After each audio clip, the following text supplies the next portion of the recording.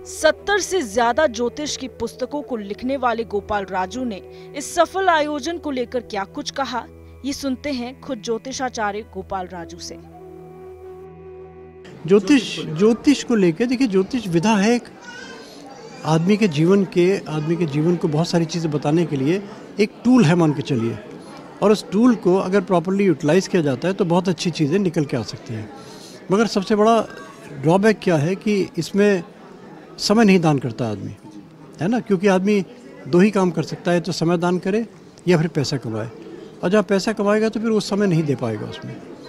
तो उसको उसको मैंने देखते हुए इस चीज़ को लेकर आगे बढ़ा और मुझे लगा कि बिना पैसे के भी काम करता है निस्वार्थ भाव से भी काम करता है आदमी तो बहुत सारी चीज़ें मिल सकती हैं हमें।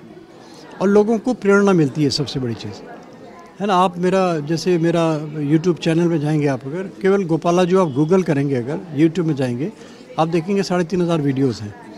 और उसमें कितने लोग हैं आप खुद देखिएगा कितने लोग देख रहे हैं। गूगल कीजिएगा। तो इसका मतलब लोगों में जिज्ञासा है, देखना चाहते हैं।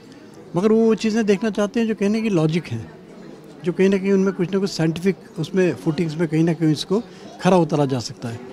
तो वो ये नहीं कह सकते कि भगवान है, मैं भगवान हूँ, या मैं बिल्कुल मैं सौ परसेंट कर दूँगा। उसके मैं ख़िलाफ़ हूँ।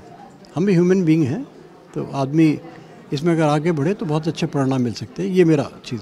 और केवल ज्योतिष ही नहीं है, जो गुही विधाएँ हैं, जो परा विधाएँ हैं, वो अनंत हैं।